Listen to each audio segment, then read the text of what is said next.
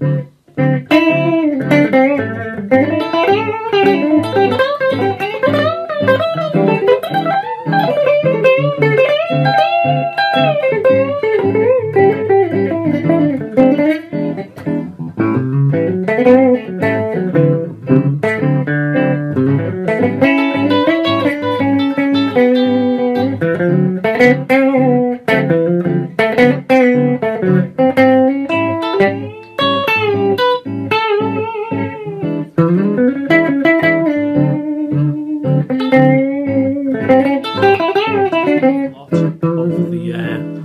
the turnaround.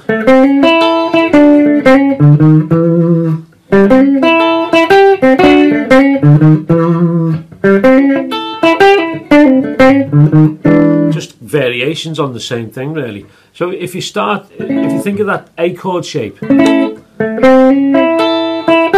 So I'm playing the um, the A note on the seventh of the D.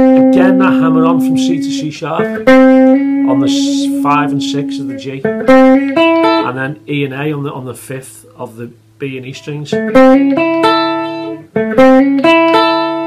then I go back to the fifth of the of the B, straight up to the eighth, the eighth of the B. That gives us that G note. And then I'll play the the seventh on the G and the and the B strings together, and then the seventh on the D.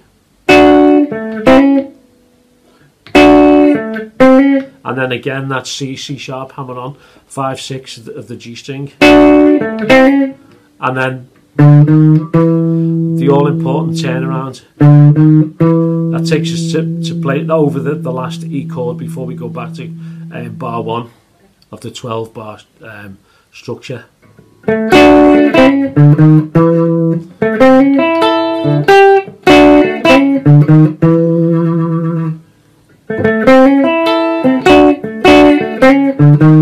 doesn't have to be the same, exactly the same every time, but you get the idea.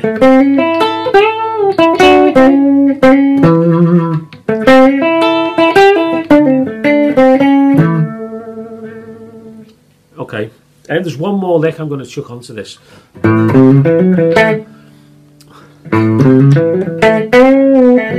Um, so, yet again, the hammer on from C to C sharp. So we start on the A, open A, hammer on C to C sharp, third and fourth of the A string,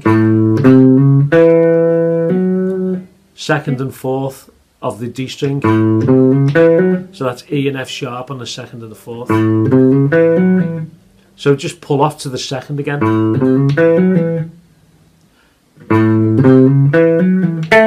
And they've played that A note on the second of the G string. And then nice little bend on the B. Not quite hitting the C, but just suggesting that we're in. And then bend down again. And pull off to the second of the G. And finish on the, the fourth of the, um, the, the the D string, the F sharp note.